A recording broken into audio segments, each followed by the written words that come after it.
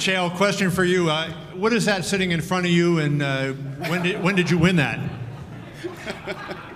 Well, for those of you that can't see, this is the World Championship title of which I took from Anderson Silva. And in this country, possession is nine tenths of the law. Finders, keepers, losers, weepers. And if he wants it back, he knows where to find me. Yeah, I think you can get them on eBay for about twenty nine That's what I was just checking.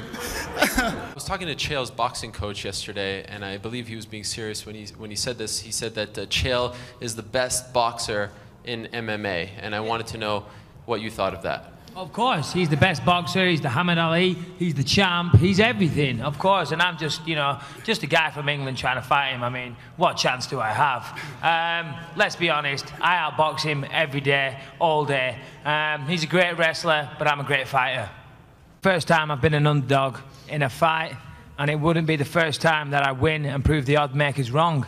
Um, odds aren't important. What's important is who turns up on the night. Um, the best fighter doesn't wi- always win. The guy who fights best wins, and I'm going to fight the best. Next question. And he can keep his fake belt and shove it up is- his ass. This question is for. Mike, what did you guys say to each other up there? Um, I'm not entirely sure. I can't really remember. Something along the lines of that you can forget about that title shot come Saturday night. Chael, yesterday Mike said that you're a better wrestler, but he's the better fighter. What's your response? You know, Aaron, I don't walk around looking into cameras and telling people that I'm the best fighter in the world to hear myself talk. I say it for the same reason they put warnings on packages of cigarettes, and fighting Chael Sonnen may be hazardous to one's health.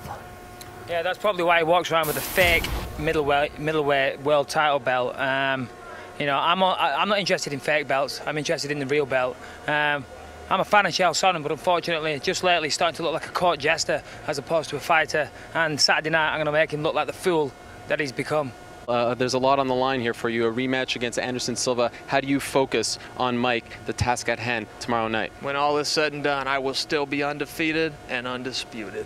See, it goes back to exactly what I'm talking about. Undefeated, undisputed. He's been defeated many times. And Saturday night, he will be defeated one more time.